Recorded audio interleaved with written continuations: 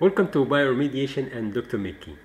In this video, we'll continue the factors affecting the contaminant degradation. And last video, we explained we have two different factors. We have biological factors and also the environmental factors. Before I show you this figure and summarizing the factors affecting the contaminant degradation.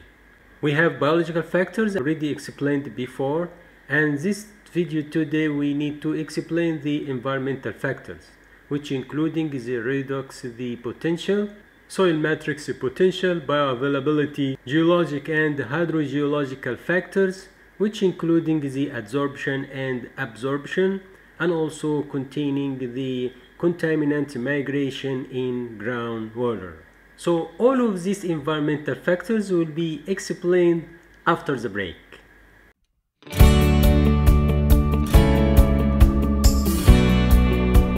Welcome back.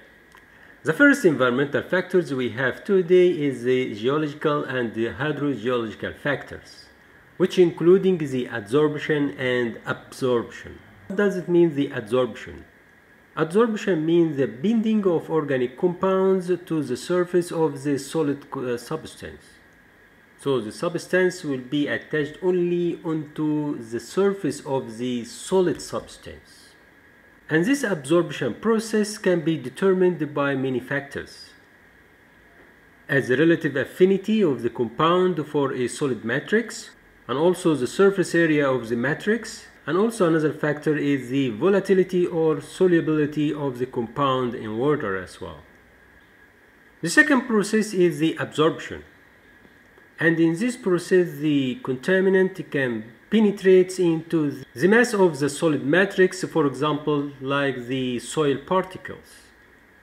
And both adsorption and absorption can be reduce the availability of the contaminant to most microorganisms, and the rate of the chemical metabolized can be also reduced. So if you look at this figure, we have the two different particles. Some particles can be absorbed the second this is the right side adsorbed. So you can see right side adsorption the particles can be only onto the surface of the particle.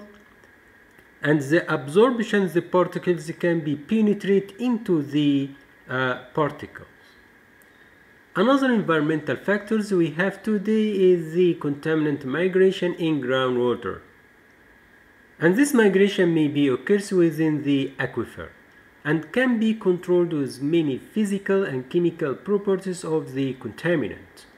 And one of these physical properties is the hydraulic conductivity and is one of the primary aquifer characteristics that must be understood to effectively predict the contaminant migrate or not and also evaluate the possibilities for the adding materials to enhance the bioremediation process.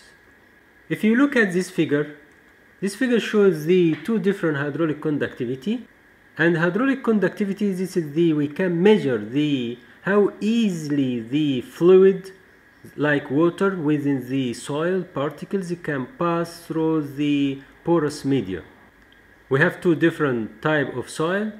Right side you can find the dense or condensed soil. The other this is loose soil. That means the particles between each other they have still some space. This space is easily to you know to flow the, uh, the to pass through the water through the uh, soil particles. While the dense no space that means difficult to flow that means the low permeability while the loose soil easy to flow that means high permeability. So according to this hydraulic conductivity you can predict this contaminant can migrate from place to place or not. According to the soil properties do you have loose soil or maybe you have the dense soil? Another factors may be considered are the diffusion and the dispersion of the contaminant. So the dispersion is the mechanical mixing and spreading of the contaminants within the aquifer. and the diffusion is the movement of contaminant along a concentration gradient due to their kinetic energy. So these are the different environmental factors under geological and hydrogeological factors. So we mentioned the absorption and adsorption. Also we mentioned the contaminant migration in groundwater, which including the hydraulic, the conductivity and also some diffusion and dispersion as well.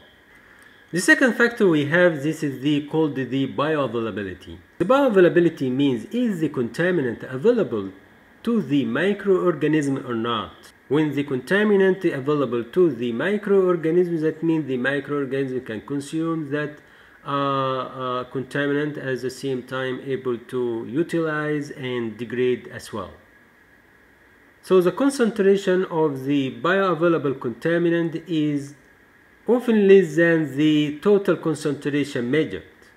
At the same time, it's important to note that the rate and the extent of the contaminant degradation is proportional to the concentration of bioavailable contaminant and not the total concentration. If you have lower concentration of the contaminant, that means the biodegradation will be higher. If you have high concentration of the contaminant, that means maybe the biodegradation will be less. So another factor we have is the soil matrix potential. So when the water is the, in contact with the solid particles like the clay or even the sand particles within the soil, we have adhesive intermolecular force. This force called the soil potential. This force between the water and the solid can be large, also important. So this force can promote the surface tension and the formation of what we call the meniscus. If you look at this figure, you can see the water and the mercury for example and you can find the surface of the water. The, the, the surface of the water will be in concave meniscus while mercury this is the convex meniscus. So the meniscus is the curve in the upper surface of a liquid close to the surface of the container or another object if you have this is caused by the surface tension or what we call it the, uh, the potential within the solid uh, matrix so this meniscus can be produced due to the force or the potential when the water is in contact with the solid particles or even container. Another factor we have, this is called the redox potential, oxidation reduction potential. So this redox potential able to provide and measure the electron density of the system. When the oxidation reduction reaction occurs, that means some electron acceptors and donors as well so can be measured.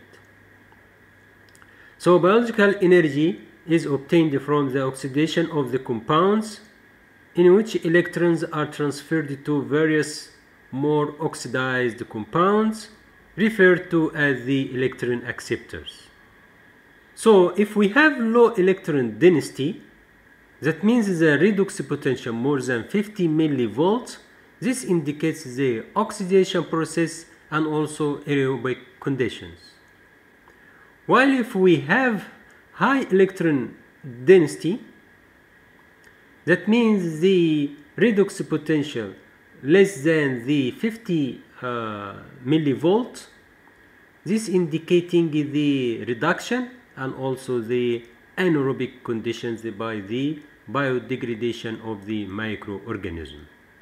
Also, if we got the positive results within 100 to 400 millivolt, that means indicates the good aeration means the very good uh, aerobic conditions, which may be optimal for the bioremediation process.